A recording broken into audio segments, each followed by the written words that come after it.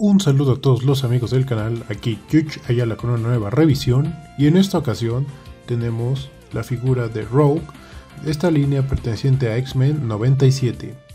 Antes de continuar con la reseña, quiero que por favor te suscribas al canal, comentes, compartas y dejes tu like para que podamos seguir creciendo. Muchas gracias.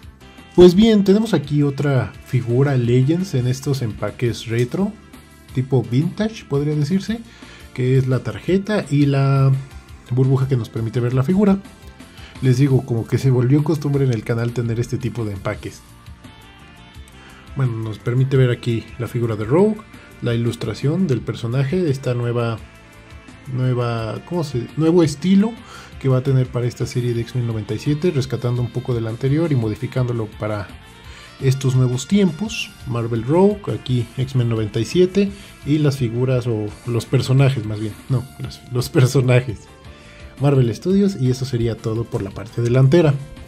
Por la parte trasera tenemos aquí la ilustración de, bueno, una foto de Rogue, eh, los personajes de de esta wave, por, por así decirlo. Y aquí el precio, esta la compré en Liverpool, 7.69. Yo siento que esto es el máximo que se debe pagar por una Marvel Legends. Sin embargo, yo la conseguí en el buen fin con un 30 de descuento, entonces sí salió como en 500 y cachito cosas que ya no vamos a leer y listo, terminamos de ver este empaque.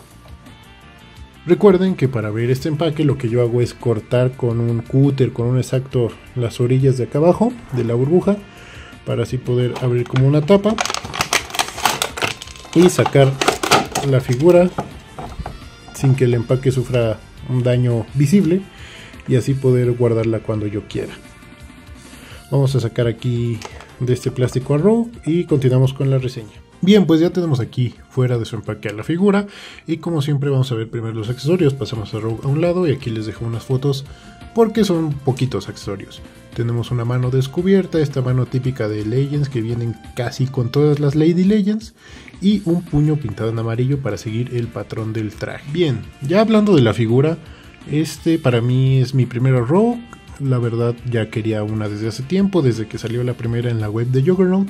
Entonces pues no pude conseguirla ya que se encareció. Luego la otra, este tipo retro, un poco más clásica. Eh, no bajaba a un precio que yo consideraba decente para pagar, entonces salió esta. Y pues como la agarré en descuento, pues me decidí ya a tener una. Podemos ver su esculpido del rostro, me, gusta bastante, me gustó. Vamos a ver si la podemos acercar un poquito y que se vea un poquito mejor.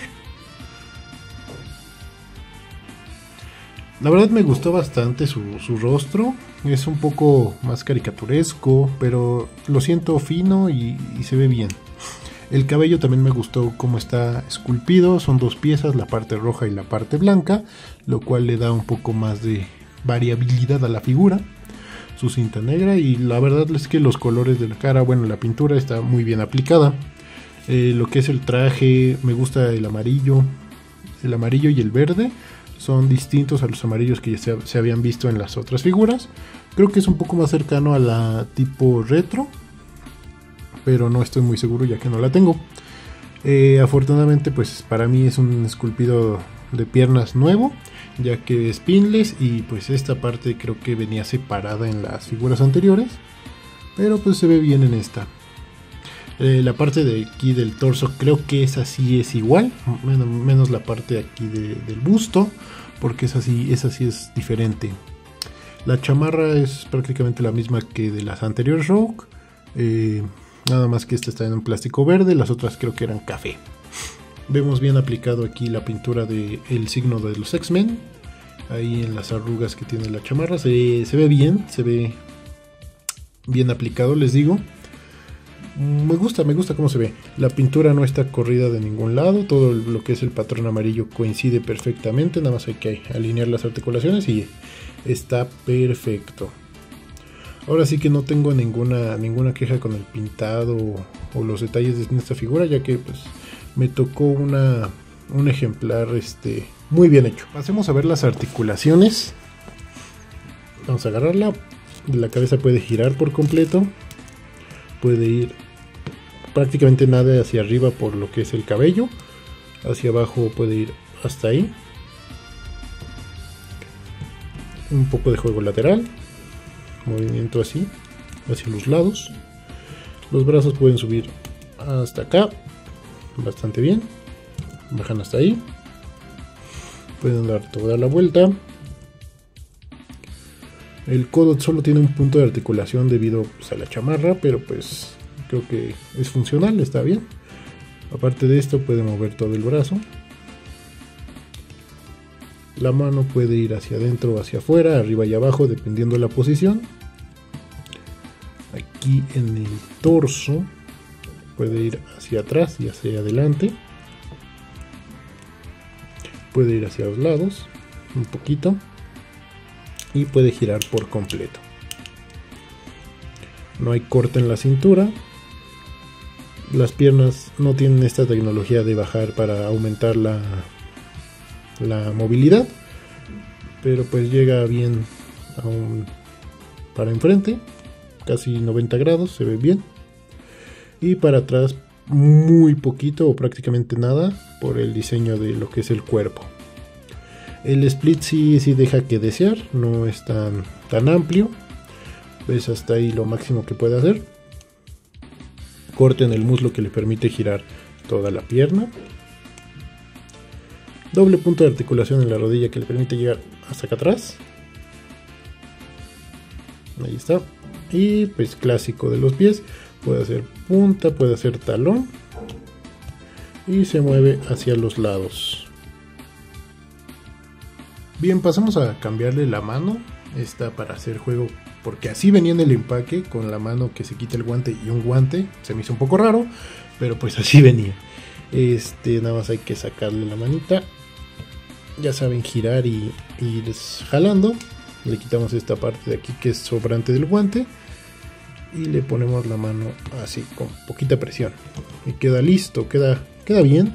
Les digo se ve se ve diferente se ve bien. Este accesorio pues ya es de la Rogue Vintage. Y pues se ve se ve bien. Es un accesorio pues para ella. Entonces me gusta. Y pues esta mano ya siento que ya hay que cambiarla porque eh, se ve un poco larga, se ve ya muy larga de los dedos. No sé, un, remoldeado en otra posición, tal vez. Ya le hace falta a las figuras femeninas otra, otra manita. Y bien, aquí les dejo la medida de esta figura. Y pasemos a compararla con otras piezas. Primero junto a Mary Jane Spinneret del pack de Renew Your Vows, junto a la Black Cat de la línea retro de Spider-Man, junto a Scarlet Witch del tripack de Family Matters y junto a la Mujer Invisible de la web del Super Scroll. Como podrán ver, tienen la misma mano, entonces es lo que les digo, un cambio de, modelado de otra mano no, no, vendría nada mal. Para finalizar las comparaciones, aquí la tenemos junto a Chun-Li de Yada Toys y junto al Wolverine de la wave de Apocalypse. Y bien, ¿qué podemos decir de Rogue X-Men 97 de Marvel Legends? Me gustó esta figura, ya que yo no tenía una Rogue, como lo repito. Para hacer la primera está excelente, me gustó lo que es el esculpido de la cara, el cabello, me gustó, creo que es lo que más me gustó.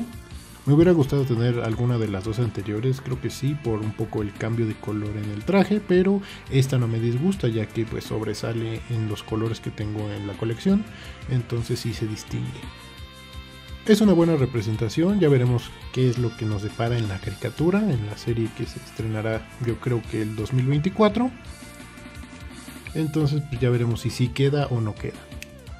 Estas piezas pues ya creo que ya las puedes conseguir eh, a un muy buen precio, me parece alrededor de los 400 y tantos pesos, hasta les digo los 760 de Liverpool, que es, les repito, es mi máximo de compra de Marvel Legends, que yo, que yo digo, hasta ahí no, yo no pagaría más por uno, entonces pues así, bueno, uno, uno regular, ¿no? Uno deluxe ya es otro tema.